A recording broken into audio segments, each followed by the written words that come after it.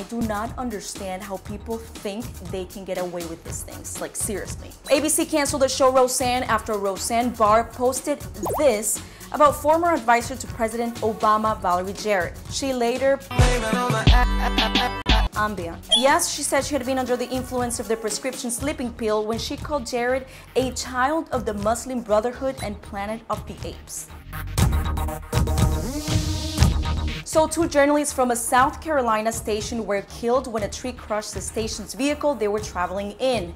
Anchor Mike McCormick and photojournalist Aaron Smeltzer were on an assignment covering Storm Alberto in North Carolina. Authorities called this a total freak accident. Both men were in their mid-30s. McCormick was a native of Florida and Smeltzer from Virginia. Hurricane Maria may have caused more than 4,600 deaths in Puerto Rico.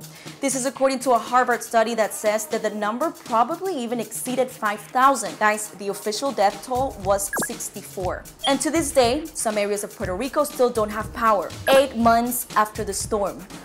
And this is part of the US. And hurricane season is coming.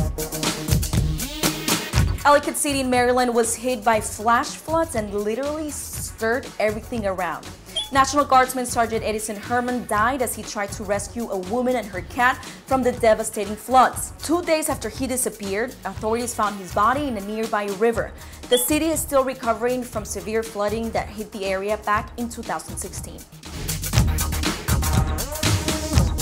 So a room full of people expecting an update on the death of a Russian journalist were shocked when he walked into the news conference. Like he walked into his own press conference. Arkady Babchenko was living in Ukraine and the government faked his death to expose a Russian plot to have him killed. The price on his head was $30,000, so they faked it and caught the middleman.